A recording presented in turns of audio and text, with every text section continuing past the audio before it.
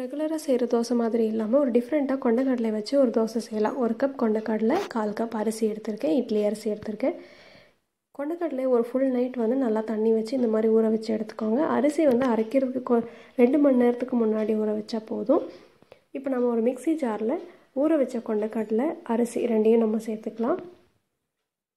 இது கூட நான் ரெண்டு சகப்பு மிளகாய் அஞ்சு பல்லு பூண்டு கொஞ்சமாக சோம்பு தேவையான அளவு உப்பு கலந்து நல்லா சாஃப்டாக அரைச்சி எடுத்துக்க போகிறேன் நடுவில் தண்ணி வேணும்னா ஊற்றிக்கோங்க இப்போ இந்த பதத்தில் வந்து நல்லா சாஃப்டாக அரைஞ்சிருச்சு. இது கூட நான் இன்னும் கொஞ்சம் எக்ஸ்ட்ரா தண்ணி சேர்த்துக்கிறேன். நல்லா மிக்ஸ் பண்ணி உப்பு வேணும்னா இன்னும் கொஞ்சம் சேர்த்துக்கோங்க. தோசைக்கல் சூடானதுக்கப்புறமா இந்த மாதிரி சுட்டு நல்லெண்ணெயோ நெய்யோ போட்டு நல்லெண்ணெய் போட்டிங்கன்னா இன்னுமே நல்லாயிருக்கும். ரெண்டு சைடும் வேக வச்சு எடுத்திங்கன்னா சூப்பரான தோசை ரெடி இந்த வீடியோ உங்களுக்கு பிடிச்சதுன்னா மறக்காமல் லைக் பண்ணுங்கள் ஷேர் பண்ணுங்கள் சப்ஸ்கிரைப் பண்ணுங்கள்